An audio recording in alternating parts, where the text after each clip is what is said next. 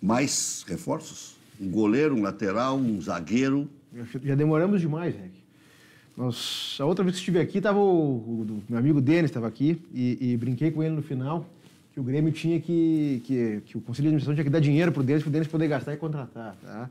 É, as, atuações que nós víamos do Grêmio, que eram atuações que não convenciam, o Grêmio não consegue repetir duas partidas é, boas em sequência, isso vem acontecendo desde o segundo semestre do ano passado, e primeiro semestre do ano passado também, após a saída do, do Renato, e a insuficiência desse grupo de jogadores, o espírito desse grupo de jogadores, uh, nos deixa muito temerosos do desempenho do Grêmio na, na, na, segunda divisão, que é a competição que mais, que mais tem relevância para nós em, 2000 e, em 2022. A Copa do Brasil ela tinha um significado uh, financeiro, porque potencialmente era a competição que mais daria dinheiro para o Grêmio. O Grêmio vai ter prejuízo jogando na segunda divisão, mas na Copa do Brasil o Grêmio ganharia pelas premiações por passada de fase. Isso ruiu, no, no, no, isso ruiu com, essa, com essa eliminação de terça-feira à noite. Então o Grêmio demorou demais para fazer as avaliações que tem que fazer.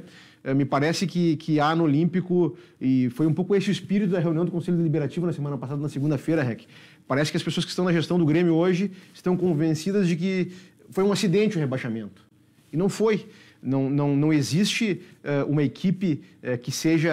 Uma, talvez exista um, uma, eles acreditem que, que, o Grêmio é bem administrado e apesar disso caiu. Ora, não existe uma equipe de futebol que tenha boa administração, que possa dizer que nesse contexto tenha caído, tenha sido rebaixado. É uma tragédia, o rebaixamento é uma tragédia e, e, não parece estar sendo encarado como tal pelas pessoas que hoje eh, comandam o Grêmio e, e nós, nós tínhamos que ter havido, eh, tinha que ter havido uma outra postura por parte da administração do Grêmio, avaliações mais rigorosas do grupo de jogadores e, uh, e sobretudo, a, a, a, o convencimento nada mais impositivo do que um rebaixamento para evidenciar as fragilidades do grupo, que ficaram explicitadas na partida contra o Mirassol, Rec.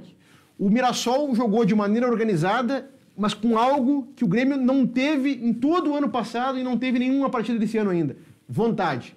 O Mirassol comeu a bola. Comeu a bola, comeu a bola, disputava os espaços, não deixou o Grêmio jogar. Quando o Grêmio se apatetou em campo, cresceu no jogo e nós não vemos esse grupo do Grêmio, essa equipe do Grêmio, fazer uma apresentação como essa. É um futebol como aquele que o Mirassol teve na terça-feira, que o Grêmio tem que ter para subir da segunda divisão, e esse grupo dá mostras sucessivas de que é insuficiente para fazer isso. Então a gente torce, torce para que as pessoas que, que hoje comandam o Grêmio uh, uh, se convençam disso, tá, tá, tá na cara de todos já, todos nós já vimos isso, e nós temos que, que, que fazer investimentos maiores para permitir que o treinador, um novo treinador, um novo trabalho, uma nova lógica, uh, uma evidência, inclusive, da falta de convicção que, que, que, houve até agora aqui no Grêmio, que se trocou um treinador com, com outro que estava num trabalho invicto na temporada, pelo menos.